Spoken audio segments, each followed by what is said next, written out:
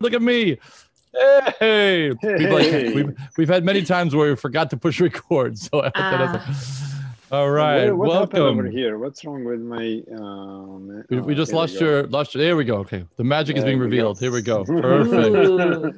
Ooh, cool. now, can you, Bower, when you try to change slides, what happens when you do that? Can you try to change? Because I have it right now set to my my screen.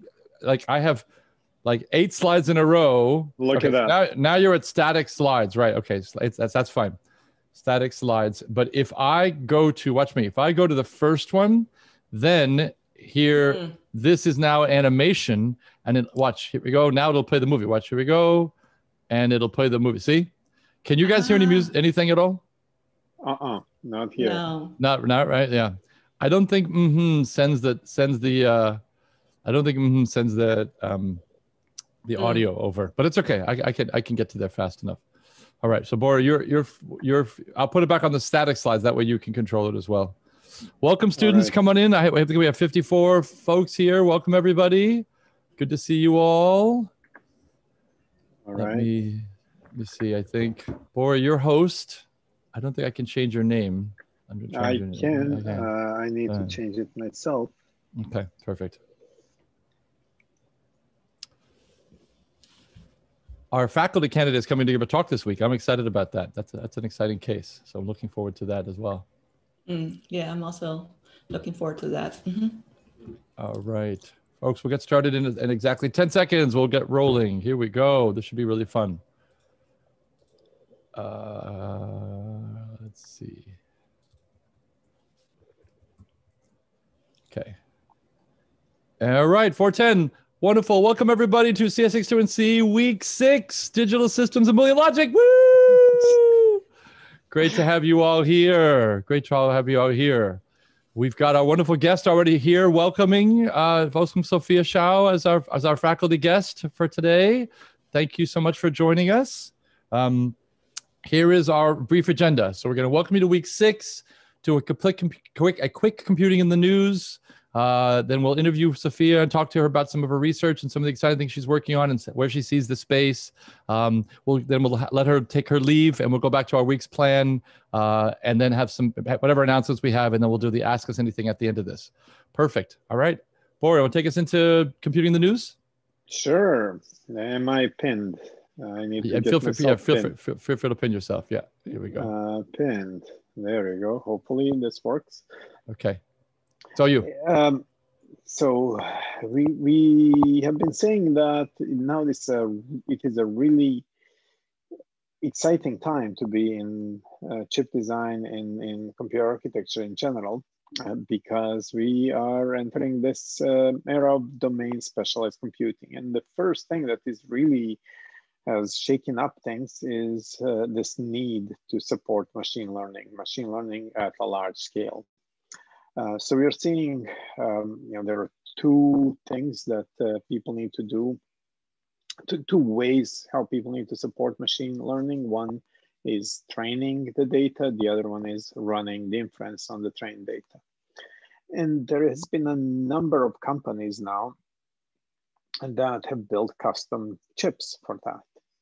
And in this picture, um, there is uh, there are two uh, clips that uh, we took from uh, something. It's a conference that is called Hot Chips that was held in August, uh, about a month ago, uh, where some of them have been presented some really exciting chips. So Google talked about TPU V2 and V3. That's their tensor processing unit that they're using to accelerate training and inference in the cloud you know, TPU is what processes when we do speech recognition or many other tasks. TPU was what uh, uh, beat the Go Master, uh, and it was an older TPU. I think it might have been either TPU one or two um, that beat him. Um, Al- AlphaGo, I um, think is the name, right? AlphaGo was the name yeah, of the software AlphaGo running the- there. the- exactly. Um, you know, they don't publish these as they make them. Uh, so we believe that TPU3 is probably about two years old now. There must be TPU4 and TPU5, but they talk about uh, um, the, the stuff that is uh, already deployed. There is another crazy chip that uh, Cerebras um, has presented and uh, it is in their second generation. You know, when you build a chip, um, you know, they, they built something that is called a wafer, and wafer is like this, it's 300 millimeters um, size. But, you know, when we take our chips, we dice that wafer into tiny, tiny pieces. So if you look at the cell phone, uh, cell phone chips like um, the ones that um, Apple makes are seven by eight millimeter. So they're called dies. So this whole wafer is diced into seven by eight millimeters. If you take a desktop PC, they're maybe, you know, 15 millimeters on the side. Some really big server chips are like an inch on the side.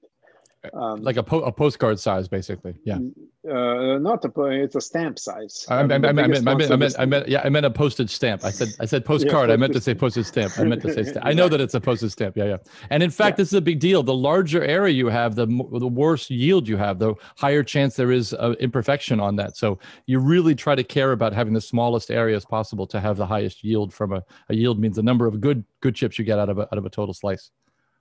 Yep. Um, and this place, Cerebras, is building chips that are the entire wafer. So they're 300 millimeters on a diagonal, which is insane. Why, they, why they need these big chips? Because they want to do training for machine learning on them. Those things have to be pretty pricey, but they're really hoping to make it in there. There is a number of other companies that have their solutions. Uh, people might have heard that Habana was acquired by Intel uh, then there is a few more startups and some of them already gone down.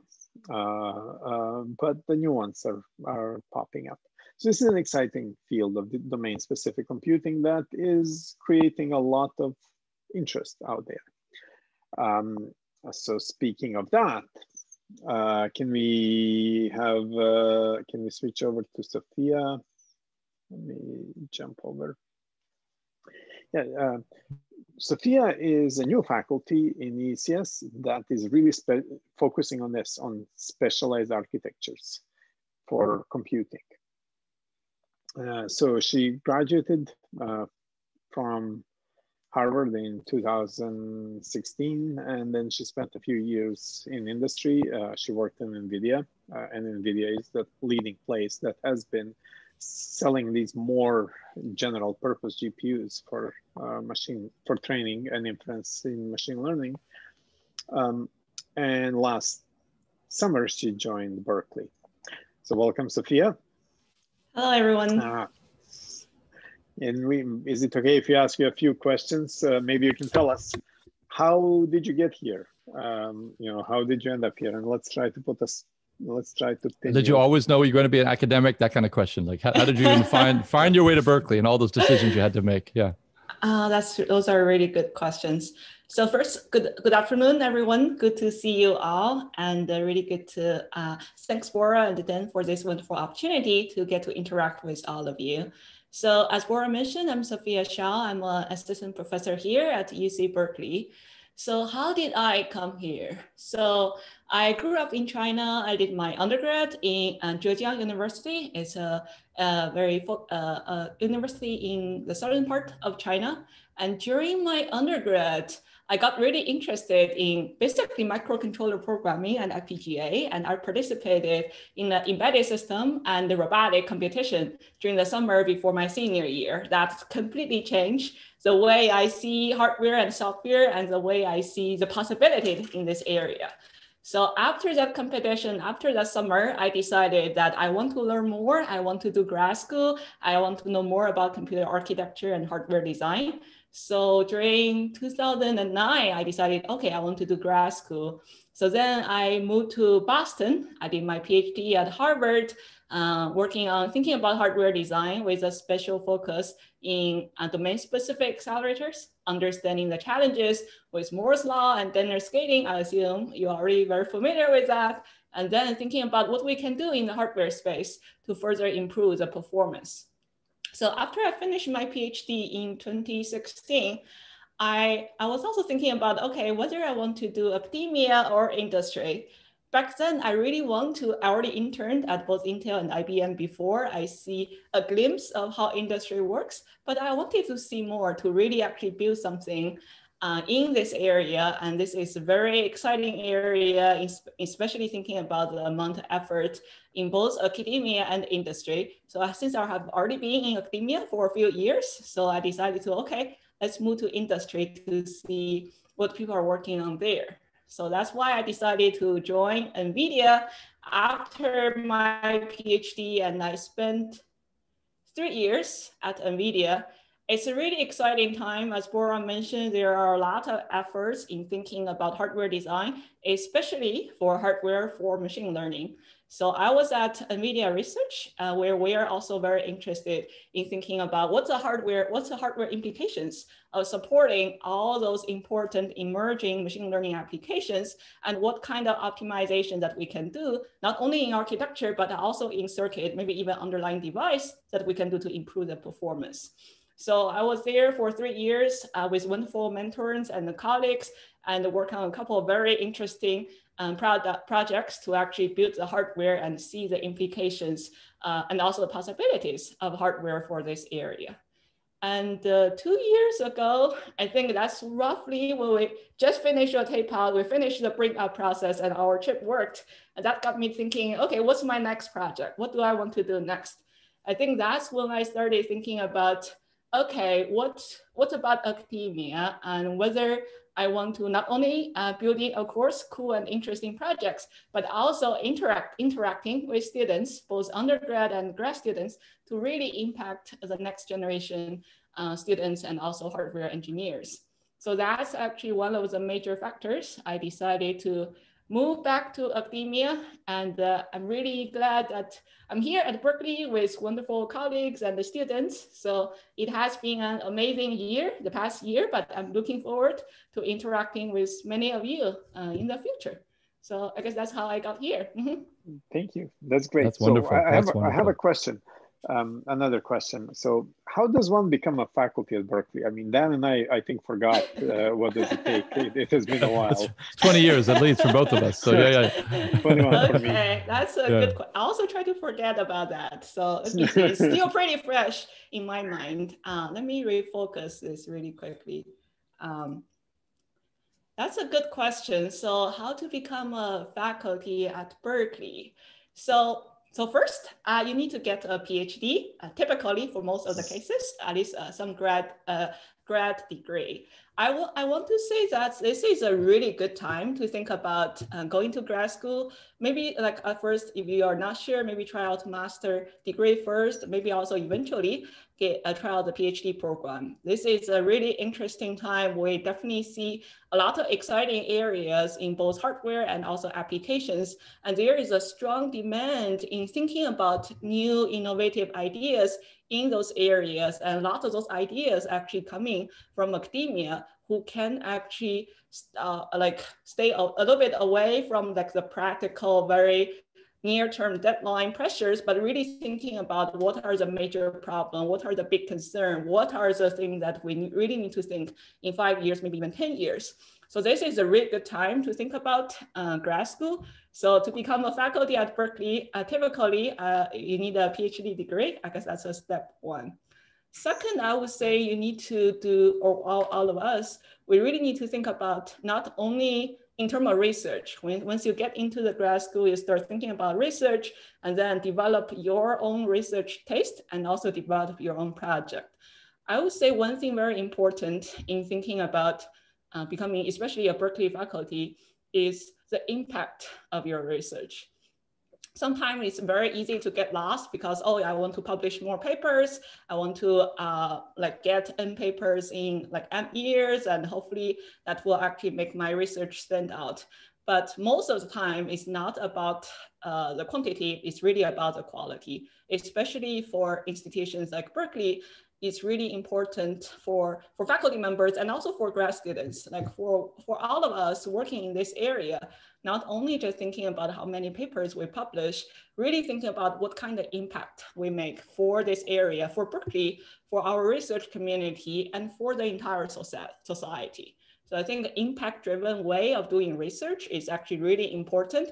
I would say that's definitely based on my experience as someone who goes through the process and interact with uh, all the Berkeley faculties and the mentors, and also seeing different um, career paths of, of colleagues and mentors. I think having an impact driven uh, research mindset is really important uh, in, in, in, overall your, your career path, no matter whether you come to Berkeley or go elsewhere, really think about your impact of what you are doing instead of just some quantifiable metrics. Uh, I guess the last thing I want to say, especially become a faculty at Berkeley, this is partially, like I mentioned earlier, partially the reason I decided to, uh, when I came back to academia is to really thinking about interacting with students, both undergrads and grad students. And also this is something I, I observe here at Berkeley is that to be a, a faculty member here, you really need to care about teaching, care about mentoring, care about advising, because we spend a lot of time interacting with students, both undergrads and, uh, and grad students. And the reason we are here, instead of being elsewhere in the industry where that can be a very well-paid job, is really the benefit of interacting with the younger generation and see what we can do to actually learn with them together and to, to as I mentioned earlier, to do high impact research and to impact, to change the field. So having a strong drive and also care, and caring about students, both undergrads and grad students, I think that's also a very important factor. Uh, that's my understanding. We also have two other faculty members here. I think it'd be interesting to hear their perspective as well. I, have heard on your second point, uh, in terms of just not just number of papers, but actually impact of papers. I've heard the analogy made: don't just get singles. So this is the baseball analogy. Don't just hit singles and get on base. Try to swing for the fences. Try to have a couple of home runs in there to make make a difference. So I appreciate that, and I agree with that. That being the thing that's most important. It's just a, not just paper trail of like, well, I did 100 papers, but nobody reads them. It has to, if I did three papers that everyone reads, that actually has more impact than the 100 papers nobody reads. So that makes a lot of sense. Right. I appreciate that um, yeah, speaking of that, uh, um, in, you know, this Boolean logic thing, the mapping of Boolean logic onto gates and, and, and switches uh, that Dan mentioned was invented by Claude Shannon. Claude Shannon, one of the best known electrical engineers and information theorists, didn't publish many papers. I mean, the, uh, because, you know, he only went, he only went for the big stuff. Now, question for and that's Sophia. actually his master thesis. So he did yeah, that. that's his, his master thesis. And if you watch today's video, if you watch today's video, I say that today in today's okay. video. Yeah, so. exactly. Now, uh, a question for Sophia. Um, mm-hmm. um, tell us something about your research. So, how, how, how to swing for the fences in this uh, uh, in, in this domain. Right. Well, that's a good question. So as Bora mentioned, I'm really interested in domain-specific hardware, and Bora talked about some really exciting development in the industry these days uh, in thinking about hardware for machine learning, uh, which is a very important applications in the industry today. And it's really exciting to see not only this new development from uh, traditional hardware companies, but also startups uh, and also software companies like Google. So we definitely see a lot of excitement in this area. So definitely we are really interested in this area in thinking about understanding applications behaviors and explore different uh, uh, hardware acceleration strategies. Specifically, we have three focus in the way we think about this uh, hardware for machine learning research. The first one is definitely related to individual algorithm acceleration what are the emerging algorithms? Bora mentioned their training and inference, and even within training and inference, there are different networks, different applications, and there are also emerging algorithms showing up on a daily basis, maybe even on an hourly basis in actually important, play a very important role in, in the machine learning process. So we are definitely really interested in understanding the application behaviors and also explore potential hardware mechanism to make them run more efficiently, especially in power constrained devices. So that's the first uh, angle. The second one, uh, what we are really interested is also thinking about not only individual accelerators, but how those different accelerators work together.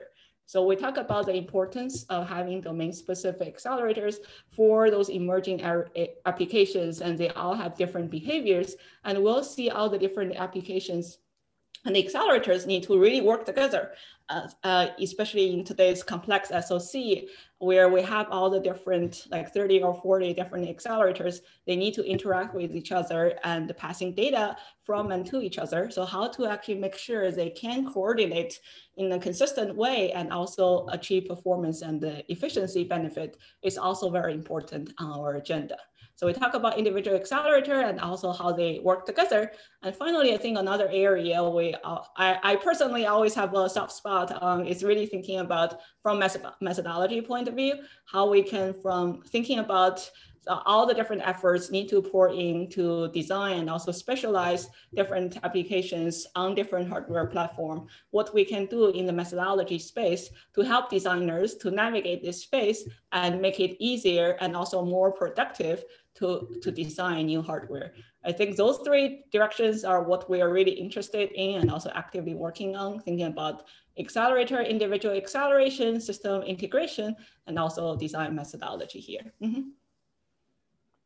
All right, thank you. Um, what's your opinion about these these two chips that we have shown, the TPUs and and uh, Cerebras? They're in your space, aren't they? Mm -hmm. Right, that's a good question. I think, as I mentioned earlier, first, it's really exciting to see the development from uh, like non-traditional hardware vendors. So we see most of the time when we talk about hardware designs, Intel, AMD, IBM, and NVIDIA, those are basically the major players.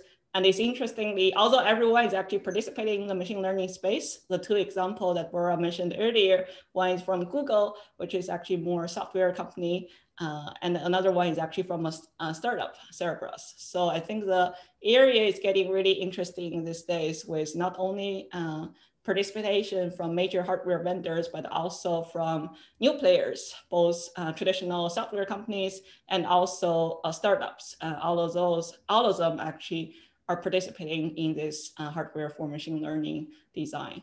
So I think one thing definitely stand out in both two examples that Bora showed earlier is the scale. So both the Cerebras chip, we talk about how big it is uh, and the, all the different components, they need to actually work together. And also the TPU V3, a lot of the performance uh, is actually on multi-node, hundreds or, or even thousands of nodes. All of those need to actually work together.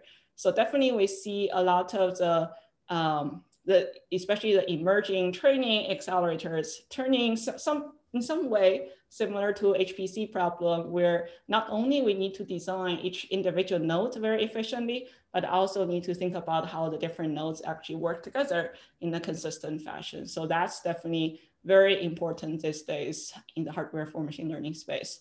At the same time, I mentioned both two are mostly like training and large scale. We also see really exciting development and like in the in the edge space where like low power, uh, low power devices, even microcontrollers, how could they actually potentially support efficient machine learning algorithm, mostly of course in the inference space. That's also very important. We also see a lot of uh, a lot of development in those space. So we definitely see maybe one is the scale, especially for the training, the large scale data center scale, and another one is actually for the edge devices under extremely conditions, how can we actually design more efficient uh, hardware in those scenarios? Mm -hmm. Sounds good. I, I, I have a quick question. Yeah, I, let, me, let me just add something here. Kath, when Kathy Yelick came to visit us, she said that in most, in most of the HPC applications, high performance computing applications, they noticed that um, they were not processor limited, but they were I/O limited. So I/O, just moving data around is the most costly thing they've noticed as it did, you know, a, an audit of where where where time is being spent. Just moving mm-hmm. data is just remarkably expensive in terms of time. Are we seeing that as much on the TPU? You know, a, a, a million nodes of TPU v3 is it really that's where the, the, what's like what's the bottleneck i guess in these new domain specific architectures i guess that's the mm-hmm. question that's a good question. I think first, it, it really depends on the, the applications. Uh, so in this particular case, a lot of training applications, they still pretty compute intensive in the sense that we talk about the compute to memory ratio, like Kathy and uh, Patterson, they used to also use the roofline model to quantify that. So a lot of those uh, compute terminals, they are indeed very compute intensive. So there is significant compute actually going on in individual node.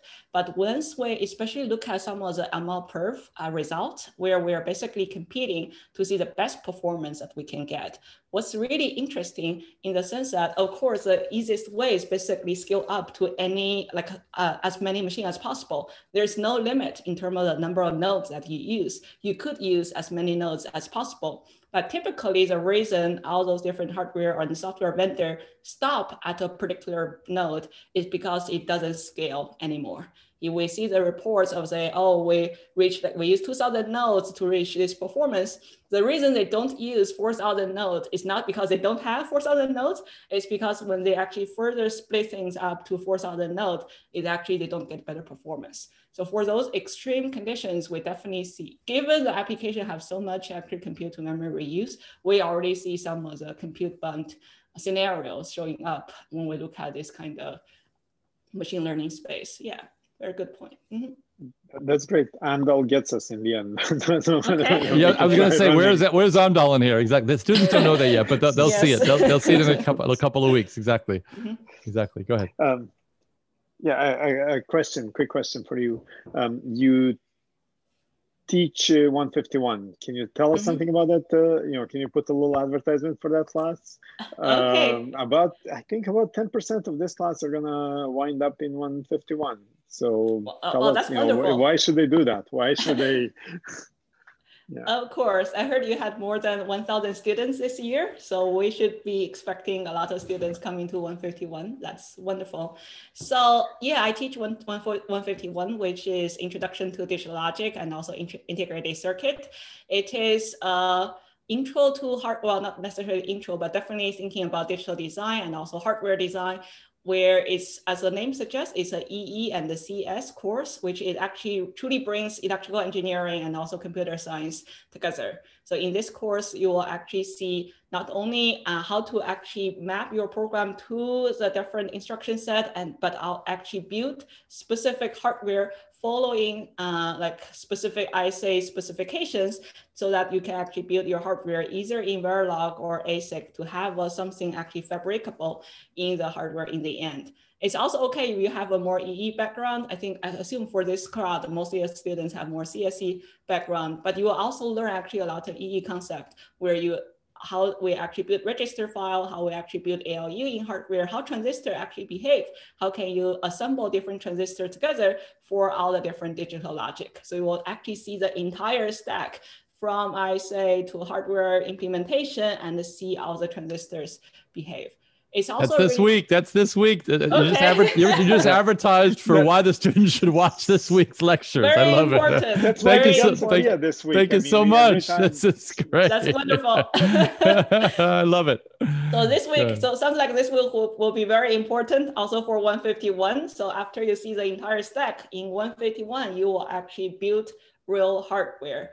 In either FPGA we mentioned earlier, that's a very cool platform. You can actually prototype different functionalities onto the board or using ASIC flow, which is actually pretty close to the state of art commercial flow that is able to actually eventually build, tape out a chip in the end.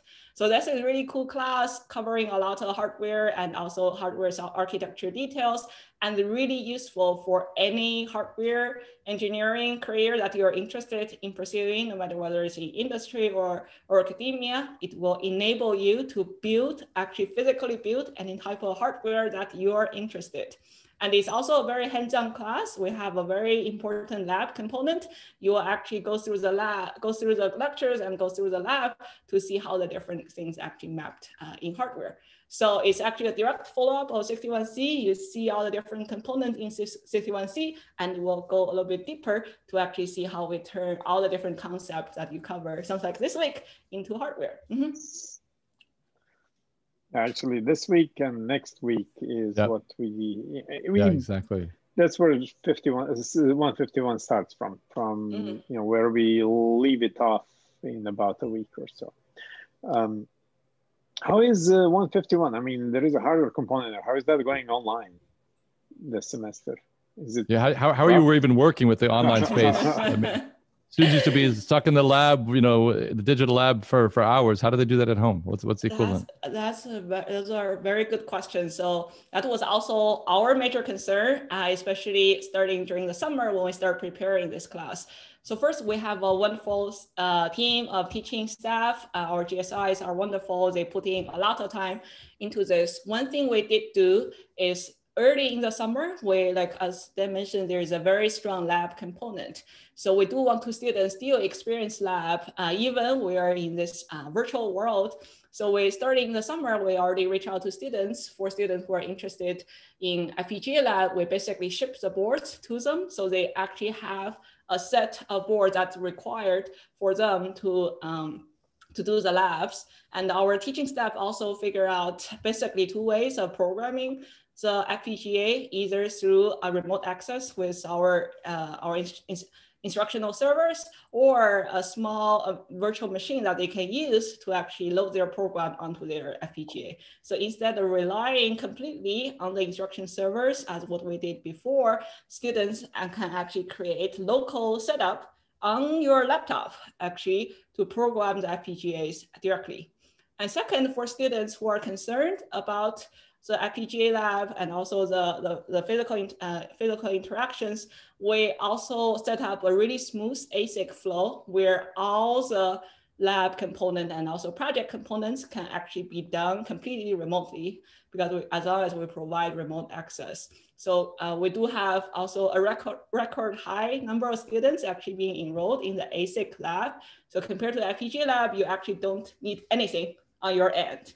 As long as you have your laptop, you can actually remote access to our instructional server. You can actually go through the same uh, very important design principles directly on your end. So I think that also alleviates a lot of students' concern. So we are still halfway, uh, less than halfway through the semester. We finished four labs, so still two more labs and the project to go. At least so far, so good.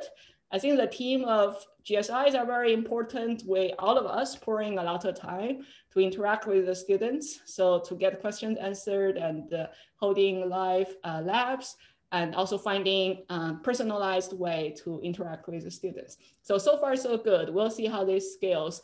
And we did, during the summer process, we also figure out a way actually to use AWS to actually program FPGA. We didn't end up pursuing that route in the end, but if the remote instructuring become a new norm, I think that would also be very useful for classes like 151. Mm-hmm. That's great. Thank Maybe you for all your hard work to, to, to, support our, our students who are all all around the world taking these Berkeley courses. That's thank you so much for that that work in there. I see two yeah, questions in the Q and A board. Do you want to jump on those, or should I, should yeah, I why don't you why don't you read them? Yeah. yeah, sure. They, I thought they were very good questions. So Simon asks, how do you know when to make an accelerator for specialized applications? Uh, for example, if you make if you make a chip for speech recognition, another chip for other things, will you have too many specialized chips and they're performing worse than a single generalized chip? What, what's the trade off there?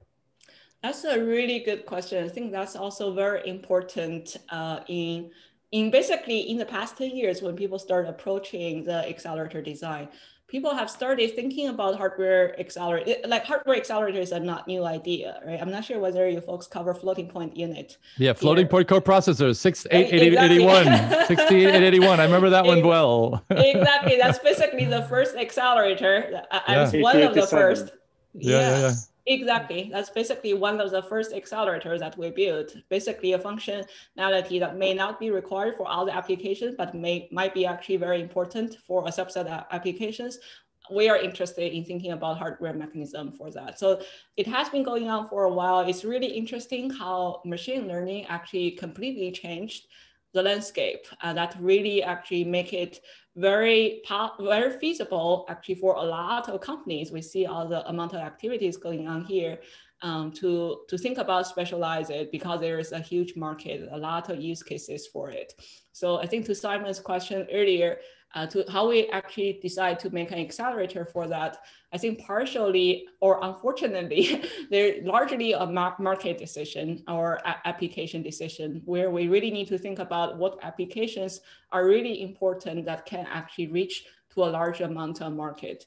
So this is more like we talk about hardware architecture is really thinking about architecture is something in between, think about application and also think about underlying device technology. So for all the students who are interested in hardware, always very important to see the application trend and uh, what kind of, what patterns, what kind of behaviors of applications are getting uh, important.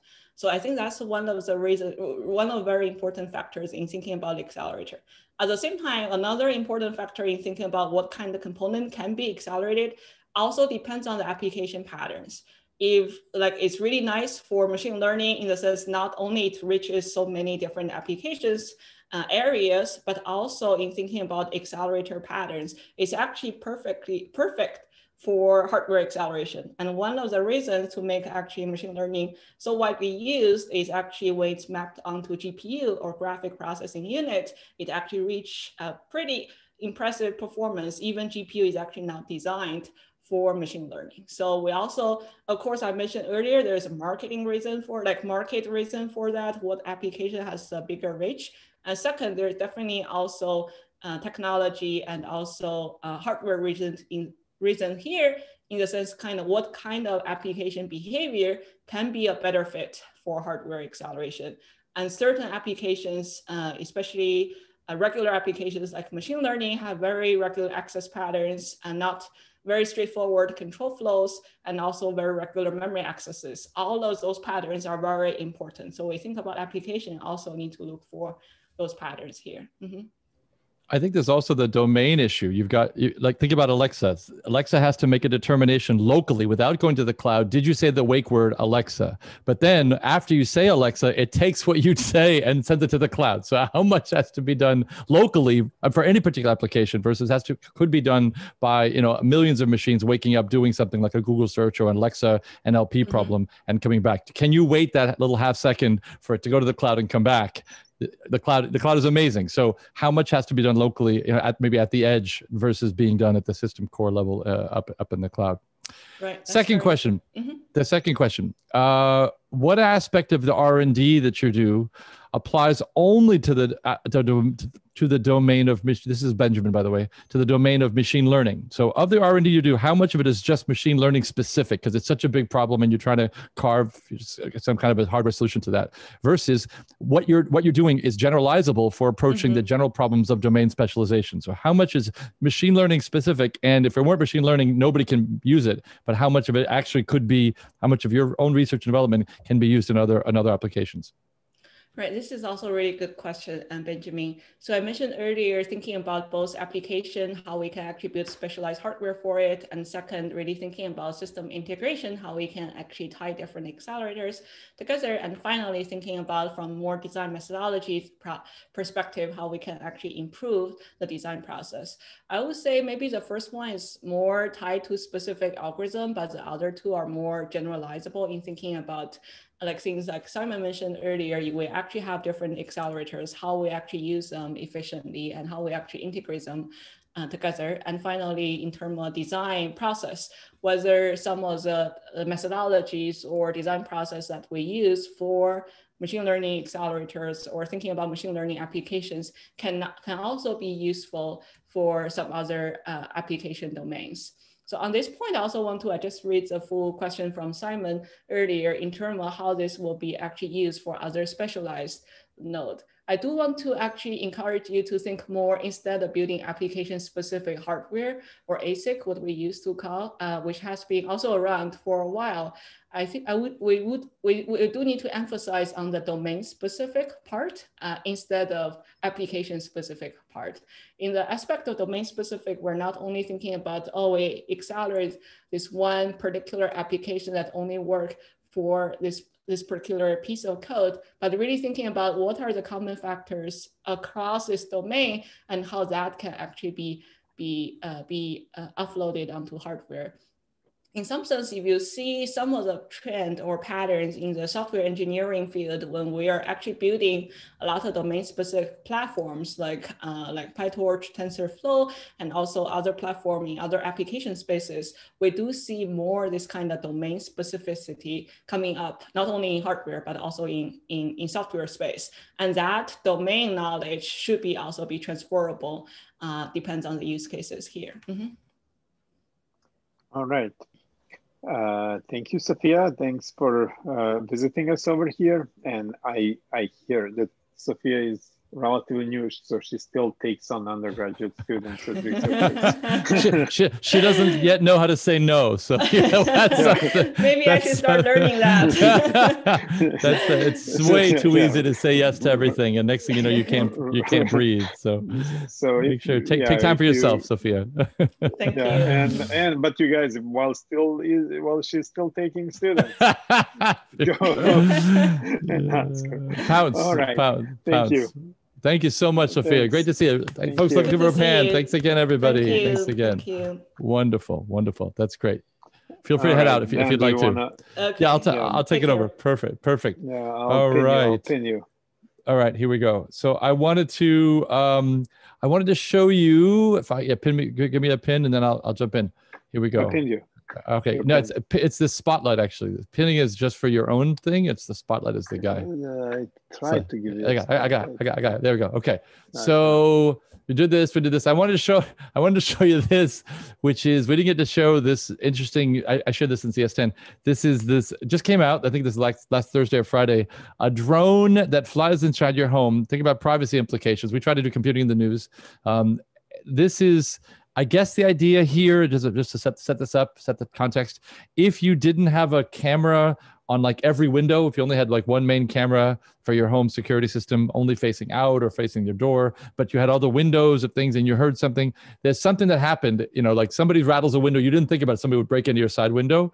Let me just show you this. All the, the only sound of this is like some, some, so, there's nothing, there's nobody speaks over this. It's a 30 second video. Let me just show you this really fast and here, boom, boom, boom. So here's this the drone wakes up, you get an alert, something's in your house, and then you can control the drone. The drone tries to find toward where the sound was, but I think you can also control the drone as well. And by the way, I was told that not everything you're seeing in this video is a real shot. Some of it's simulated. So somebody's just walking around pretending to be a drone. They haven't perfected it yet. But the idea is you'll have this drone that you can either control to see if well, there's a sound downstairs, and you get a notification for sound downstairs from your security system, uh, and then you'll you'll figure out you'll you'll figure out uh, what to do, whether you can fly it yourself or not. So I, I found it fascinating that anybody would uh, buy this. this is just me because uh, they've already shown that you can hack the uh, I think I, forget what it what particular system, whether it was an Amazon or a Ring or who, who was driving this, but they've already shown you can hack the the cameras that are at your front door. Uh, there is a, it's very easy to get access to that, to that video data.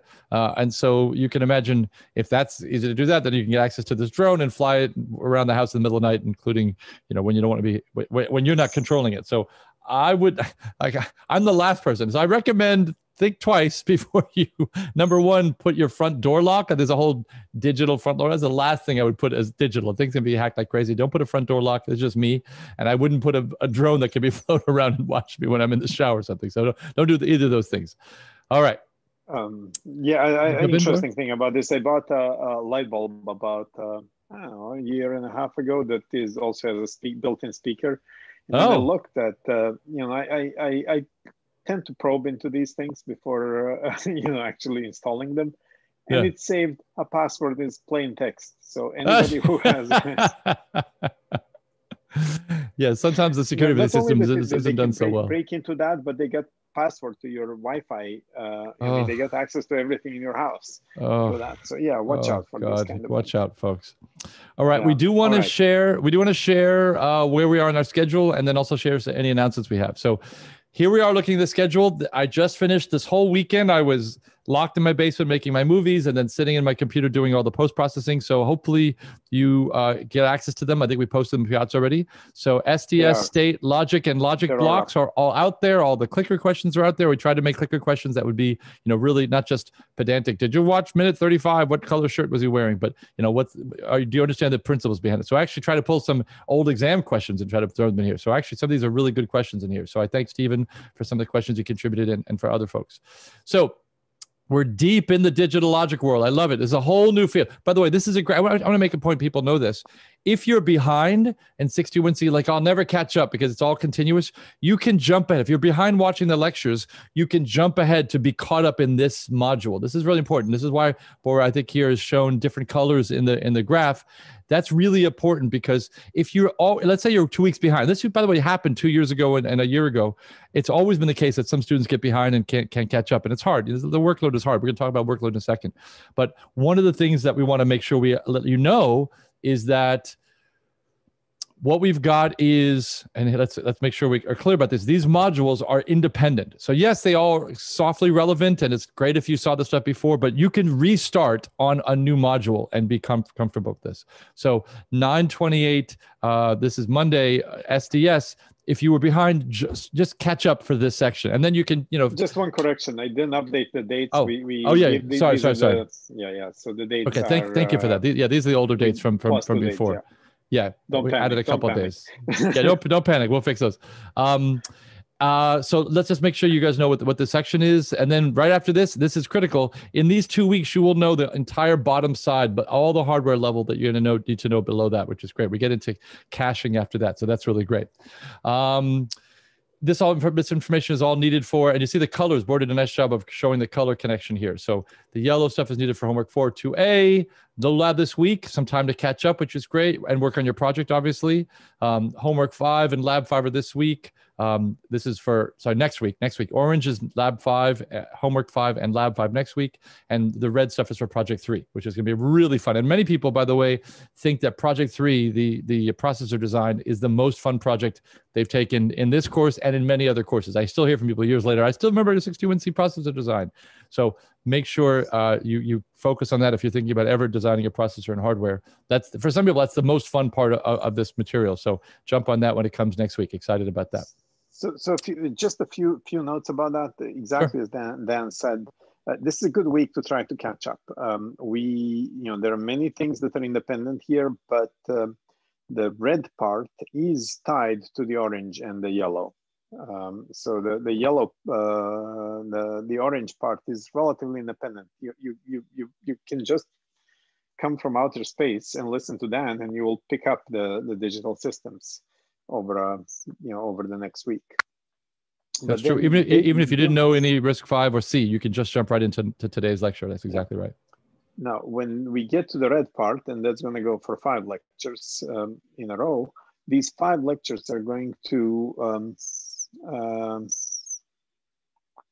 uh, uh, they're basically a complex digital system, a really complex digital system that we're going to build based on the principles that we have um, in, in Orange, in the SDS module, based on the specification that we have uh, developed in the yellow module over there over these uh, seven lectures or so. So we'll basically take all those instructions and implement them using the principles that we have learned. It's really fun, uh, uh interesting thing uh, when we, with Sophia, we you guys those that go in 151 will actually do it um, again but now in a language called verilog and realize it in something that will look like a real asic or a, or put it into an fpga and then pass um, RISC-V compliance tests. This year we have changed the project a bit so you pass some of those tests. So there are not very many hidden tests but we can add more hidden tests if you want to um, so it, it, it's quite exciting. I mean, you do get the functional core this time around that can run assembly, can even run C, compiled C. Uh, next time around, you can actually build it if you take 151. Back to Dan. I, no, it's great. I mean, what's really fun about this this this series of lectures, I the you know the orange to set it up, the red to actually take it home, is we're going to build a working RISC-V machine. That's it's amazing. I mean, we're not we're not physically building it, but we're going to build a machine that if you could send it to somebody to do this, this will actually run the, the machine code. And I mentioned this in the lectures. Run the machine code you've compiled to some of the link down to. So all that ones and zeros in the, the machine code, we're going to build a machine to do that, and that's what's going to happen in the next several sub lectures after this. It's very exciting. And by the way, Bora, I think it's six lectures. So it's, it's a lot of time in your in your basement studio, not five lectures, it's six. Right. And then we're not, we're not going to build, it's like three lectures to build the machine. Here's the thing. And then three lectures to make it faster. And so using some principles that I'll teach you in this orange section called pipelining. So that's the exciting piece of that. So think about that. But it, even if you didn't make it fast, if you skip the last three lectures, you'd still have a working machine just a little slower. So you know what? We can make this faster. And you have three lectures to make it faster because this this course is also about performance, which is exciting. All right, here we go. Now we got some. We got third perfect. Three minutes for two announcements. Announcements. Announcements.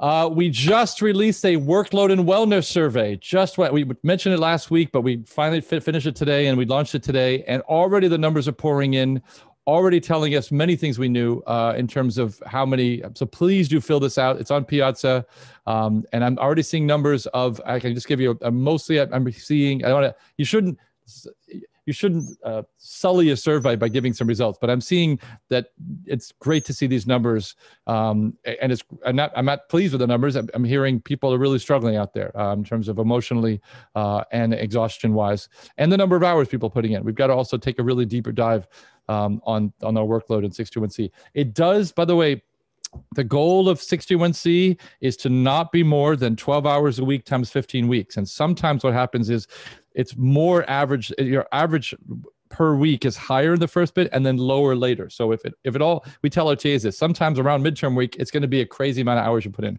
But as long as it's average to what you're being paid for, that's reasonable. So these numbers are going to be high, but hopefully when we do our midterm survey and then our final survey, it'll all end up showing uh, showing that we kind of it averages out to 12 hours a week. And if not, we really need to go back to the drawing board and figure out what how we can make this lighter a lighter weight thing. And thank you for, so much for all the suggestions of how to do that. So there's a there's a point to ask in the survey we ask you any policy changes we've you know you remember that last week we made a ton of new policy changes. Hopefully try try to address this more slip days, more more flexibility here, more days for project two, etc. We'll we'll continue to look at policies we can do to help with the workload and wellness issues we can. That's part one. Part two, uh, quest retake. In fact, some folks have said, I don't have time for a quest retake. I'm just being barraged with workload. I, I don't have time to take more hours to study for it and to take more hours to the retake. The idea is you're not supposed to be studying for it. You're supposed to just do it again. So don't count that into what hours you should have. Just, just jump you back in there. But we're going to try to reduce the number I mentioned last week, the people who are going to need to take that. Um, and what we need to do, first of all, my TAs tell me there's, a, there's, there's an order to this, there's logic to this, which is process all the regrades. Now the students know what their final grade is, and now you know do they need a retake or not um, so we can know who not to who not to bother again with all this. So we're going to try to slog through. I think, Bora, the number I heard was 350 regrade requests, and we've got two TAs processing this. I mean, two star TAs, but still, I, I mean, we you know we didn't we didn't budget for 350 regrade requests. Usually that's not what we get. We usually get ah 50, 100, not 350. In which in which each of the 350 requires us to look at their code, figure out why does it not do something, and how can we give you points back. So we're the the perspective that we have from the top is how can can we get you points back? So we're going to spend some time thinking about this. We're not going to both slam you on a quest and then not give you points back, but we're going to see how we can do this and how we can, you know, maybe fix a bug and then does it does it pass some tests? Okay, get those points. Maybe get dinged for the bug we had to fix. That kind of thing. So we'll, but hopefully you gave us code that worked. I mean, hopefully you didn't just give garbage code and it, you know it didn't work at all. Hopefully it worked on your system. If it worked on your system but doesn't work on ours, then that's there's some mismatch. We obviously try to do, get down get down to the details of that and again, we're going to try to endeavor. So, because they were working on that, that's probably all this week is working through the regrades, slogging through that, then doing an analysis of who didn't have a video that worked and figure out who needs the exam, blah, blah, blah, blah. That's probably so. All this is probably going to happen next week. So, again, we're just pushing this on. So, don't worry about it for now. Survive your project two, work on that for now, and then we'll probably do this. So, again, I hope to have better a better answer for you next next week once our PTAs have told me that all the regrades are done. But we want to give a due, due, due justice to all the regrades, but it does take time. And so, that please, please do. Uh, please do recognize that we're working as hard as we can. uh, I'm almost done. Responses and, and they're very informative.